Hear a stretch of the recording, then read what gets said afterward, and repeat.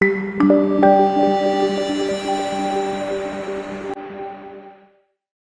kính chào quý vị khán giả. Bảo Trân rất hân hạnh được đồng hành và gửi tới quý vị những thông tin cập nhật trên kênh YouTube của báo Pháp luật Thành phố Hồ Chí Minh. Ngay sau đây là những nội dung chi tiết. Ngày 26 tháng 9, Bộ Quốc phòng Nga công bố hình ảnh cho thấy chỉ huy lực lượng hải quân Biển Đen của Nga, Đô đốc Viktor Sokolov tham gia một cuộc họp trực tuyến.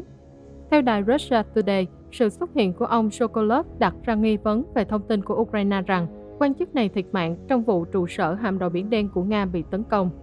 Cụ thể, ngày 26 tháng 9, Bộ trưởng Quốc phòng Nga Sergei Shoigu chủ trì cuộc họp giao ban trực tuyến với các quan chức quân sự cấp cao.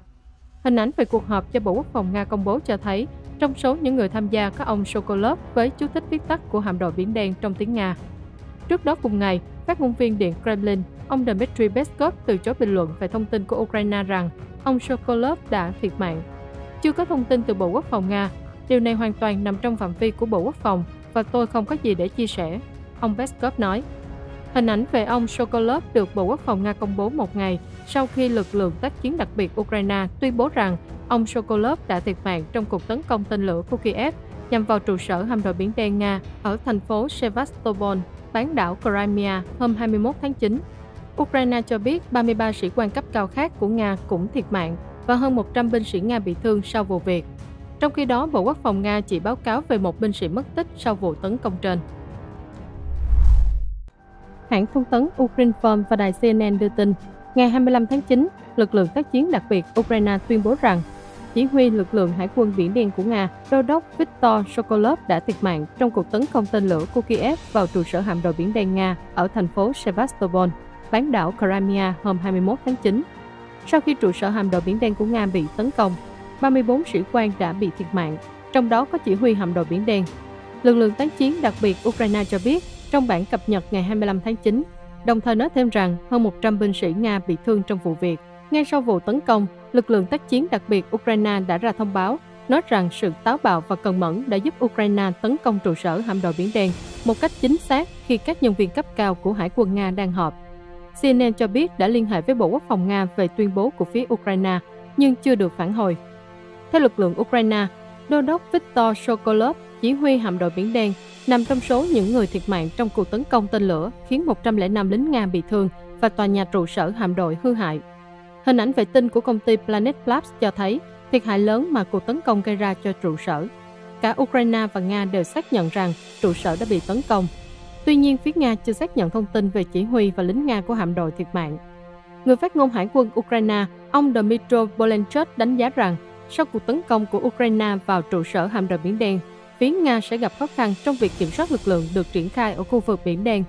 Theo hãng thông tấn Ukrinform, ông Pletenchuk lý giải rằng lực lượng trang thiết bị của hạm đội Biển Đen rất nhiều và việc mất đi người quản lý thì hạm đội sẽ gặp khó khăn trong khâu kiểm soát lực lượng. Ông cho hay, bây giờ sẽ có người được điều động đến hạm đội Biển Đen để quản lý mọi thứ, nhưng trước khi những người này vào hệ thống và hiểu rõ tình hình, họ sẽ phải mất một thời gian nên sẽ chưa đạt được hiệu quả. Ông lưu ý rằng các báo cáo vẫn chưa được xác minh liệu toàn bộ chỉ huy có mặt tại trụ sở này vào thời điểm xảy ra cuộc tấn công hay không, nhưng thông thường tất cả các lãnh đạo cấp cao đều tập trung họp ở đó. Theo ông Pletenchuk, nhóm chỉ huy này bao gồm ít nhất chánh văn phòng và một cấp phó.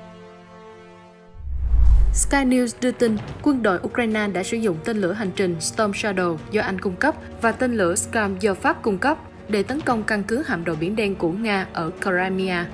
Giám đốc tình báo quốc phòng Ukraine Kirilo Buyanov ngày 23 tháng 9 nói với báo Mỹ rằng đòn tập kích ở Crimea hôm 22 tháng 9 đã khiến lực lượng Nga thương vong nặng nề. Thượng tướng Alexander Romanchuk và Trung tướng Oleg Shekov nằm trong số những người bị thương nặng trong cuộc tấn công. Trong thông báo trên Telegram ngày 23 tháng 9, lực lượng đặc nhiệm Ukraine cho biết chiến dịch có tên Crab Trap 7 cua được ấn định để tiến hành vào lúc các thành viên cấp cao của Hải quân Nga đang họp. Cuộc tấn công đã khiến hàng chục người thương vong, gồm cả chỉ huy cấp cao của hạm đội Biển Đen. Hạm đội Biển Đen là một đơn vị thuộc Hải quân Nga hoạt động ở Biển Đen và Địa Trung Hải kể từ thế kỷ 18. Hạm đội này đóng ở nhiều bến cảng khác nhau ở Biển Đen và duyên hải biển Azov. Căn cứ chính của hạm đội Biển Đen là thành phố cảng Sevastopol, phía nam bán đảo Crimea. Bán đảo Crimea gần đây liên tục bị tập kích bằng tên lửa và máy bay không người lái UAV.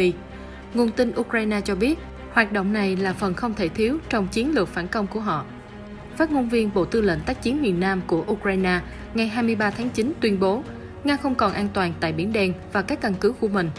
Tuy nhiên, tình hình Biển Đen vẫn căng thẳng và Ukraine vẫn còn chặng đường dài phía trước để phá hủy toàn bộ năng lực của Nga tại bán đảo Crimea.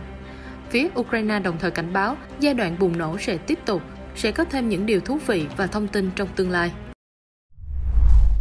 Lực lượng tác chiến đặc biệt Ukraine cho biết cuộc tấn công vào trụ sở hạm đội Biển Đen của Nga ở thành phố Sevastopol, bán đảo Crimea vừa qua đã khiến hàng chục người thiệt mạng và bị thương, bao gồm cả lãnh đạo cấp cao. Đài CNN dẫn thông báo của lực lượng tác chiến đặc biệt Ukraine.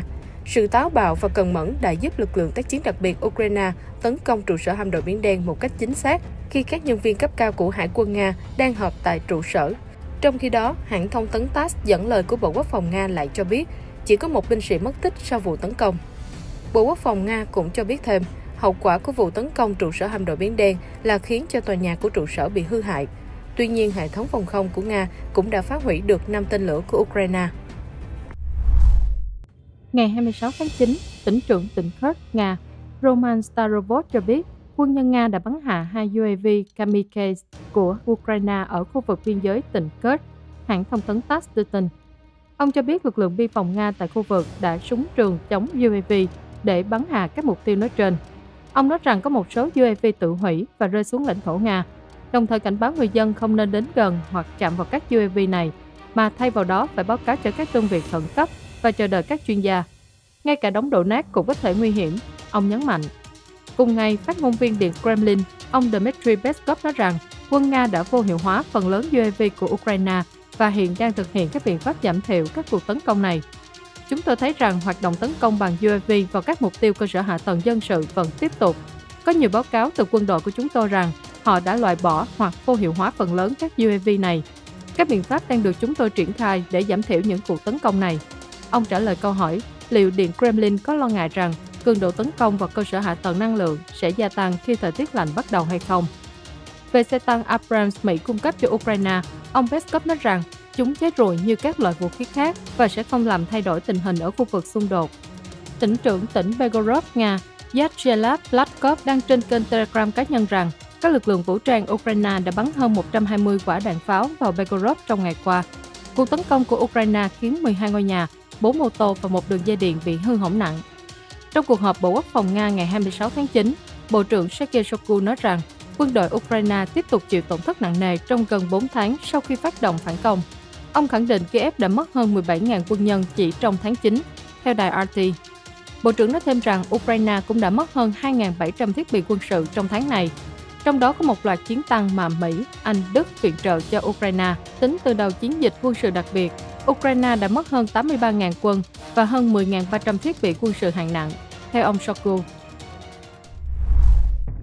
Ngày 26 tháng 9, chính phủ Na Uy cam kết tài trợ nhân đạo 92 triệu USD cho Ukraine để giúp nước này vượt qua một mùa đông đang đến gần, theo CNN. Chính phủ cho biết nguồn tài trợ đang được chuyển qua Liên Hợp Quốc, bao gồm Quỹ Nhân đạo Ukraine và Phong trào Chữ Thập Đỏ và Trăng Lưỡi Liềm Đỏ quốc tế. Gói hỗ trợ sẽ được phân bổ cho các tổ chức xã hội dân sự địa phương ở Ukraine, cũng như những người dễ bị tổn thương nhất, trẻ em, người tị nạn và những người di tản trong nước, giúp đảm bảo rằng họ có quyền tiếp cận nơi ở, thực phẩm, nước và vệ sinh, giáo dục, chăm sóc sức khỏe và hỗ trợ tâm lý xã hội, cũng như bảo vệ chống lại bạo lực tình dục và giới tính, theo thông cáo báo chí của chính phủ Na Uy. Theo CNN, Liên Hợp Quốc ước tính hơn 17 triệu người ở Ukraine đang cần hỗ trợ nhân đạo. Những thông tin vừa rồi cũng đã khép lại chương trình của chúng tôi. Cảm ơn các bạn đã quan tâm theo dõi. Và đừng quên chúng tôi cập nhật rất nhiều thông tin mới nhất ở tất cả các khung giờ trong ngày. Xin kính chào và hẹn gặp lại.